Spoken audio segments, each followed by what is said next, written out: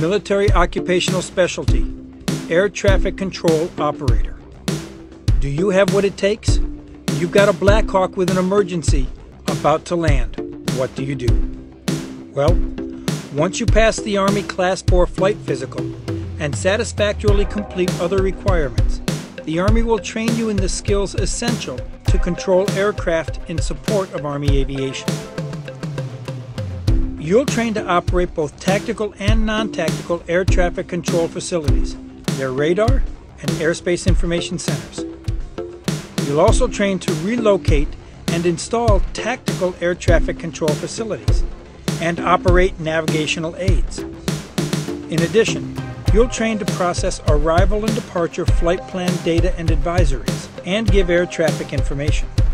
You'll also train to update automated terminal information systems process computer-generated traffic control data, maintain logs, records, and voice tapes made during flights, plus identify and resolve potential air traffic conflicts before they become problems.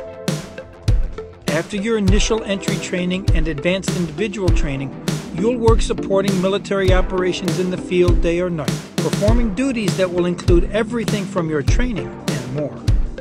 Serving in this MOS can help you transition from the military to the civilian employment sector, where your teamwork, self discipline, and problem solving skills are in demand by civilian employers.